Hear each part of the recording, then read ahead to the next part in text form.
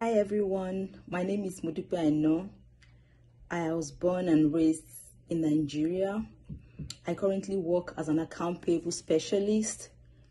I am a graduate of computer science and I have almost a decade of experience in the banking sector.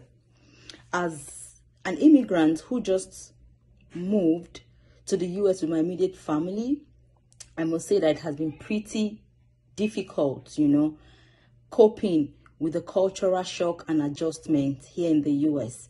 But I have decided to look at the positive side and stay focused. Also, my journey as a public speaker has been full of trials and errors, and this leads to what motivated me to taking this course. I want to be someone that I want to be a go-to for solutions for my fellow immigrants. I want to give them ideas. I want to give them solutions. I want to have that leadership skill. And that is why I'm taking that course. I want to improve myself. I want to face my fears. I want to be able to impact the world and the people around me. That is why I'm taking this course.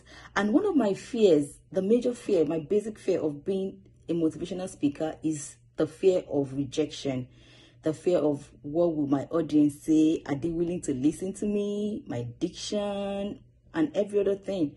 That is my greatest fear as a public speaker.